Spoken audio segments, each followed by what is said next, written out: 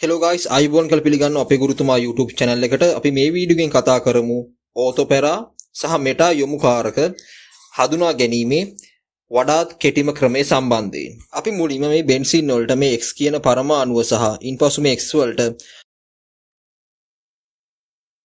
අපි මුලින්ම කතා කරමු කොහොමද ඕතොපැරා යොමුකාරක හඳුනා ගන්න ආකාරය සම්බන්ධයෙන්.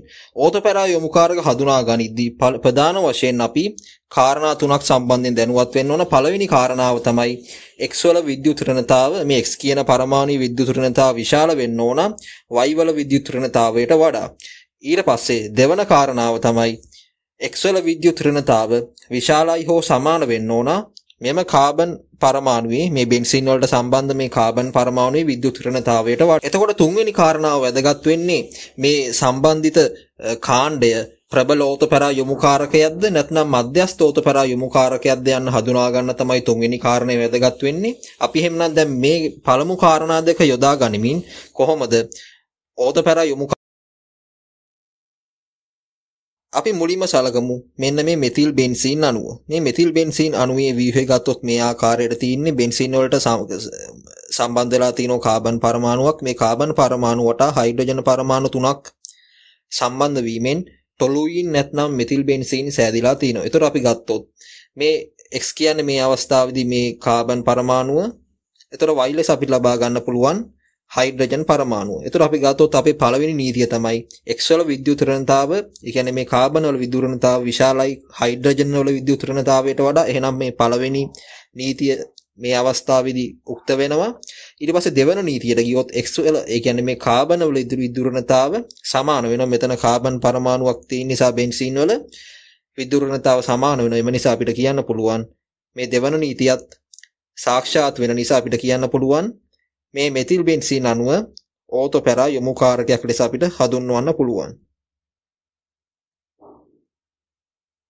අපි දෙවනු සලකුම් මෙම අණුව සම්බන්ධයෙන් මේ අණුව සැලකුවොත් මේ අණුව ද්විතීයික ඇමීනියක් වශයෙන් අපිට හඳුන්වන්න පුළුවන්. මේ ඇමීන අපි සැලකුවොත් X ලෙස අපිට අරගන්න පුළුවන් බෙන්සීන් වලට කෙලින්ම සම්බන්ධ වෙලා තියෙන නයිට්‍රජන් පරමාණුව. ඉන්පසු Y ලෙස අපිට ලබා ගන්න පුළුවන් එක්ක කාබන් නැත්නම් හයිඩ්‍රජන් පරමාණු. මොකද මේ Y කියන්නේ බෙන්සින් වලට සම්බන්ධ වෙලා තියෙන පරමාණුවට සම්බන්ධ වෙලා තියෙන පරමාණුව.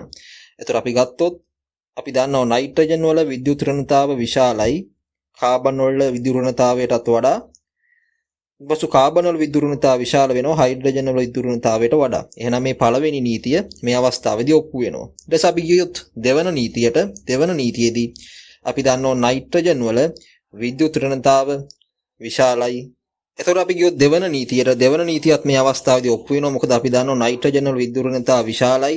කාබන් වල විද්‍යුත් ඍණතාවයට වඩා අපිට විද්‍යුත් ර්ණතාව විශාලතම මූලද්‍රව්‍ය වන්නේ ෆ්ලෝරීන්.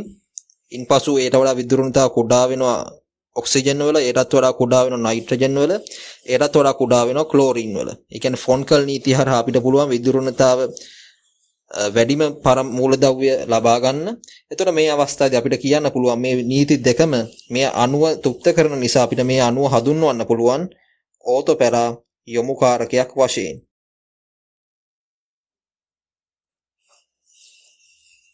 එතකොට ළමයි මේ තුන්වෙනි නීතිය අපි මේ කලින් ඉගෙනගත්ත නීති දෙකටම අපි එකතු කරන තුන්වෙනි නීතිය තුන්වෙනි නීතියේදී x මත එකසර ඉලෙක්ට්‍රෝන යුගලයක් පවතින විට අපි සිදුවෙන දේ බලමු එතන මේ ප්‍රධාන වශයෙන් මේ තුන්වන නීතිය යොදාගන්නේ මේ අණුව මෙම අණුව ප්‍රබල ඕතපැරා යොමුකාරකයක්ද නැත්නම් මධ්‍යස්ථ ඕතපැරා යොමුකාරකයක්ද නැත්නම් දුබල ඕතපැරා යොමුකාරකයක්ද යන්න හඳුනා ගන්න තමයි මේ තුන්වන නීතිය යොදාගන්නේ. එතකොට අපි ගත්තොත් මේ එකසර ඉලෙක්ට්‍රෝන යුගලයක් නැත්නම් ඉලෙක්ට්‍රෝන යුගල කිහිපයක් හෝ මේ X මත පැවතුනොත් අපි සැලකුවොත් මෙන්න මේ උදාහරණය. අපිට ගන්න පුළුවන් උදාහරණයක් වශයෙන් ෆීනෝල් අණුව. මේ ෆීනෝල් අණුව සැලකුවොත් මේ ෆීනෝල් අණුවේ ඔක්සිජන් මත එකසර ඉලෙක්ට්‍රෝන යුගල දෙකක් පවතිනවා. එතකොට මේ අවස්ථාවේ අපිට X ලෙස ලබා ගන්න පුළුවන් ඔක්සිජන් පරමාණුව Y ලෙස ලබා ගන්න පුළුවන් හයිඩ්‍රජන් පරමාණුව.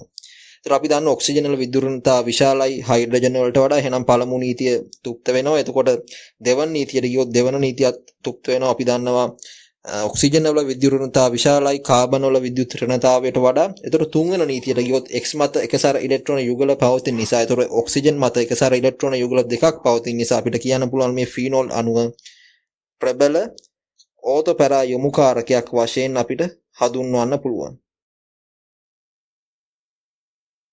අපි දැන් කතා කරමු එහෙනම් මේ ඇනිලීන් අණුව ගැන ඇනිලීන් අණුව සැලකුවොත් ඇනිලීන් අණුව X ලෙස අපි ලබා ගන්න පුළුවන් නයිට්‍රජන් ඒ වගේම Y ලෙස අපි ලබා ගන්න පුළුවන් හයිඩ්‍රජන් පරමාණු. එතකොට අපි ගත්තොත් අපි දන්නවා නයිට්‍රජන් වල විද්‍යුත් ඍණතාව විශාලයි කාබන් වල විද්‍යුත් ඍණතාවයට වඩා ඒ වගේම නයිට්‍රජන් වල විද්‍යුත් ඍණතාව විශාල වෙනවා හයිඩ්‍රජන් වල විද්‍යුත් ඍණතාවයට වඩා එහෙනම් අපිට කියන්න පුළුවන් මේ ඇනිලීන් අණුව මේ පළමු නීති දෙක තෘප්ත කරන නිසා ඕතපර යොමුකාරකයක් වශයෙන් හඳුන්වන්න පුළුවන්. එතකොට අපි තුන්වෙනි නීතියට ගියොත් මේ නයිට්‍රජන් පරමාණු මත එකසර ඉලෙක්ට්‍රෝන යුගලයක් පවතින නිසා අපිට කියන්න පුළුවන් මේ ඇනිලින් අණුව ප්‍රබල ඕතපර යොමුකාරකයක් වශයෙන් හඳුන්වන්න පුළුවන්.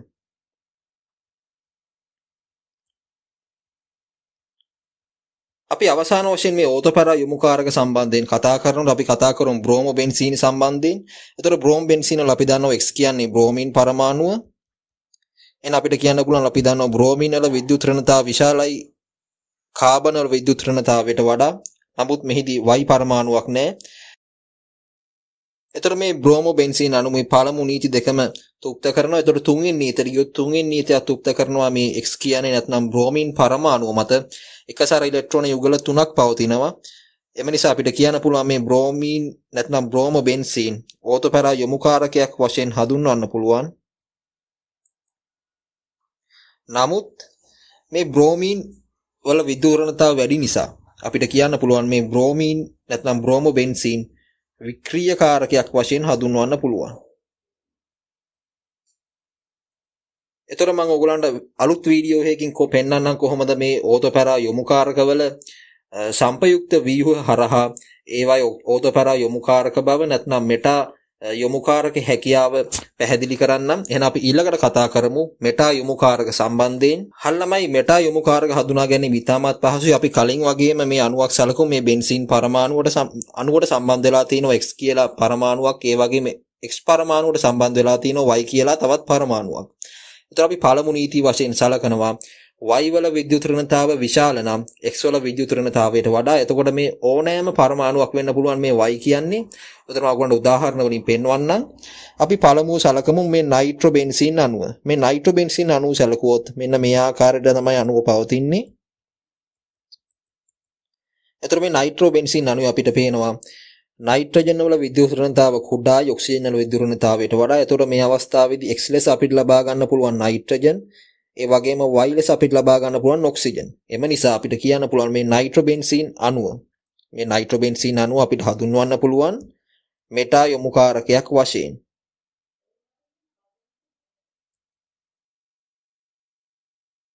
හරි එහෙනම් දැන් අපි ඊළඟට කතා කරමු මේ කීටෝනේ සම්බන්ධයෙන් මේ කීටෝනේ අපි හැදුනොත් මේ කීටෝනේ හඳුන්වනවා බෙන්සල්ඩිහයිඩ් වශයෙන්. එතකොට මේ බෙන්සල්ඩිහයිඩ් වල අපිට කියන්න පුළුවන් X ලෙස හඳුන්වනවා කාබන්. අපිට ඊට පස්සේ Y ලෙස ලබා ගන්න පුළුවන් ඔක්සිජන්. එතකොට අපි දන්නවා ඔක්සිජන් වල විදුරණතාව විශාලයි කාබන් වල විදුරණතාවයට වඩා එහෙනම් අපිට කියන්න පුළුවන් මේ බෙන්සල්ඩිහයිඩ් අණුව මෙටා යොමුකාරකයක් වශයෙන් හඳුන්වන්න පුළුවන්. එතකොට ඔයගොල්ලෝ ප්‍රධාන වශයෙන් මතක තියාගන්න ඕන දේ තමයි මේ අවස්ථාවේ අපි Y ලෙස ලබා ගත්තොත් හයිඩ්‍රජන් මේ නීතිය බිඳ වැටෙනවා. එම නිසා මෙතන එක පරමාණුවක් හරි තියෙන නිසා මේ X වලට සම්බන්ධ වෙලා තිනවා Y දස පරමාණුවක් ඔක්සිජන් කියලා එක පරමාණුවක් හෝ මෙම නීතිය තුක්ත කරනවා නම් අනිවාර්යෙන් එම අණුව අනිවාර්යෙන් මේ අණුව මෙටා යොමුකාරකයක් වශයෙන් අපිට හඳුන්වන්න පුළුවන්. අපි එහෙනම් ඊළඟට සලකමු මේ ඇසිටෝෆිනෝන් අණුව ඇසිටෝෆිනෝන් අණුව කියන්නේ මේ බෙන්සීන් වලට කීටෝන කාණ්ඩයක් සම්බන්ධ වුණොත් මේ ආකාරයට කීටෝන කාණ්ඩයක් සම්බන්ධ වුණොත් අපි මේ කීටෝනේ හඳුන්වනවා ඇසිටෝෆිනෝන් වශයෙන්. එතකොට අපිට කියන්න පුළුවන් මේ අවස්ථාවේදී මේ එන්න මෙම කාබන් පරමාණු අපි සලකනවා X ලෙස ඒතර Y ලෙස අපි ලබා ගන්න ඔක්සිජන්. ඒතර අපි දන්නවා ওই අවස්ථාවේදී කලින් අවස්ථාවේදී වුණා වගේම ඔක්සිජන් වල විද්‍යුත් ඍණතාව විශාලයි කාබන් වලට වඩා එහෙනම් අපිට කියන්න පුළුවන් මේ අණුව මෙටා යොමුකාරකයක් වශයෙන් අපිට හඳුන්වන්න පුළුවන්.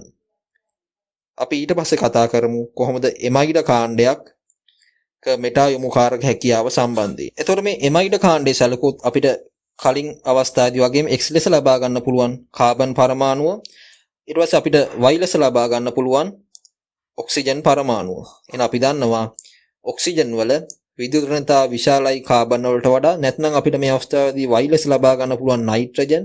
එතකොට නයිට්‍රජන් වල විද්‍යුත් ඍණතාව විශාලයි අපි දන්නවා කාබන් වල විද්‍යුත් ඍණතාවයට වඩා එහෙනම් මේ නීතිය උක්ත කරන නිසා අපිට කියන්න පුළුවන් මේ එමයිඩ කාණ්ඩය. එහෙමත් නැත්නම් මේ එමයිඩ කාණ්ඩය අපිට හඳුන්වන්න පුළුවන් මෙටා යොමුකාරකයක් වශයෙන් හඳුන්වන්න පුළුවන්.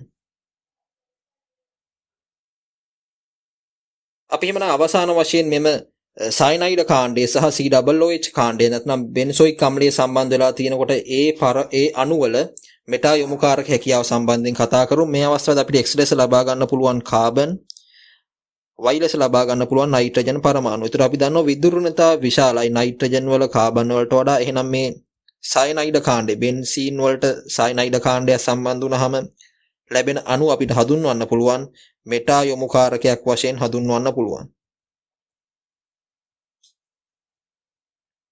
ඊට පස්සේ අපි කතා කරමු එහෙමනම් බෙන්සොයික් අම්ලය සම්බන්ධයෙන් බෙන්සොයික් අම්ලයේදී මොකද්ද සිද්ධ වෙන්නේ? අපිට X ලෙස ලබා ගන්න පුළුවන් නැවතත් මේ කාබන් පරමාණුව බෙන්සින් වලට සම්බන්ධ වෙලා තියෙන මේ කාබන් පරමාණුව ඉන්පසු Y ලෙස ලබා ගන්නවා ඔක්සිජන් පරමාණුව. එහෙනම් අපි දන්නවා ඔක්සිජන් වල විදුරණතාව විශාලයි. කාබන් වල විද්‍යුත් ඍණතාවයට වඩා ෆොන්කල් නීතිය අනුව එහෙනම් අපිට කියන්න පුළුවන් මේ බෙන්සොයික් අම්ලය මෙටා යොමුකාරකයක් වශයෙන් හඳුන්වන්න පුළුවන්. එහෙමනම් ළමයි ඔයගලන්ට මේ නීති හතර හරහා පුළුවන් ඕනෑම ඕතපැරා යොමුකාරකයක් නැත්නම් මෙටා යොමුකාරකයක් ඉතාමත් පහසුවෙන් හඳුනා ගන්න. ඒ වගේම ඔයගලන්ට මේ වීඩියෝ එක හරහා අලුත් දෙයක් ඉගෙන ගත්තා නම් අනිවාර්යයෙන්ම මේ channel එක subscribe කරන්න. ඒ වගේම ඔයගලන්ගේ යාළුවෝ අතර මේ වීඩියෝ එක share කරලා මේ channel එක සම්බන්ධයෙන් ඔයගලන්ගේ යාළුවන්වත් දැනුවත් කරන්න.